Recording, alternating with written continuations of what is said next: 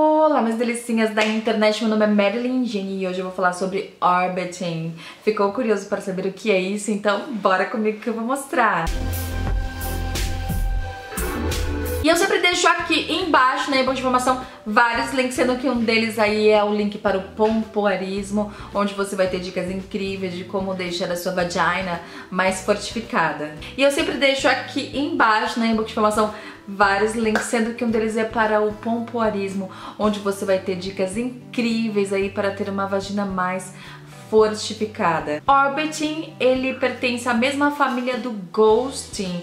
Eu já fiz um vídeo explicando aqui o que é ghosting, vem de ghost, de fantasma, que é quando o cara simplesmente desaparece da sua vida sem deixar nenhum rastro. No orbiting, a pessoa simplesmente fica te stalkeando pelas redes sociais. Então, assim, o relacionamento acabou, vocês não têm assumidamente nada a ver mais um com o outro, mas o cara fica ali orbitando nas suas redes sociais. Então, fica vendo seus stories, às vezes dá até likes na sua publicação, coraçãozinho, mas não quer absolutamente mais nada com você e em muitos casos, inclusive, ele terminou já com você. Existem algumas explicações para este fenômeno. Uma das explicações possíveis é que a pessoa não tem nada que fazer e tá ali vendo as suas coisas. A segunda possibilidade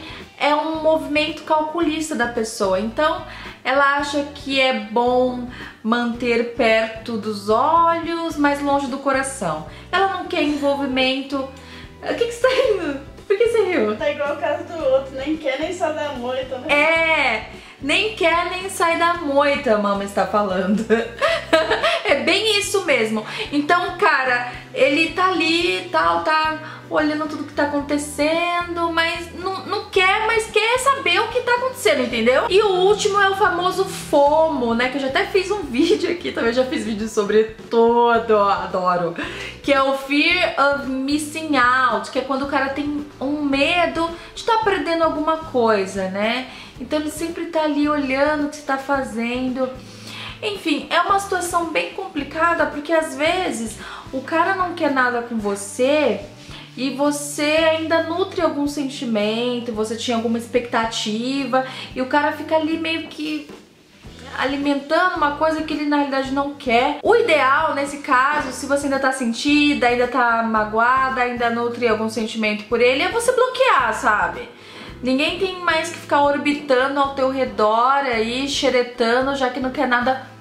Libera a moita e é isso aí. Porque acaba sendo muito. É, machuca, né? Quando você tá tentando esquecer a pessoa e toda hora você vê ali um like da pessoa, um coraçãozinho. É bem complicado. Então bloqueia mesmo, tá? O infeliz, pra ele não saber mais nada. Se não te quis, também não vai ficar mais orbitando na tua life. E é isso aí. Se livra desse inferno logo antes que piore, porque só vai piorando, a tendência é só piorar. E você de casa, já teve alguém orbitando na sua vida virtualmente? Porque tudo isso acontece, né, no mundo virtual. Uh, me deixa aqui nos comentários porque eu quero saber se você gostou desse vídeo, não se esqueça de deixar um gostei pra mim aqui embaixo, isso é mega importante para o crescimento do meu canal aqui no YouTube. E tem aquele botão que eu sempre falo por aqui, inscrever-se, apenas um clique, você já estará inscrito, me siga lá nas redes sociais, eu vou ficar muito feliz de ter você comigo. Um beijo, mas um beijão bem grande nesse seu coração gigante, fique na paz e até a próxima!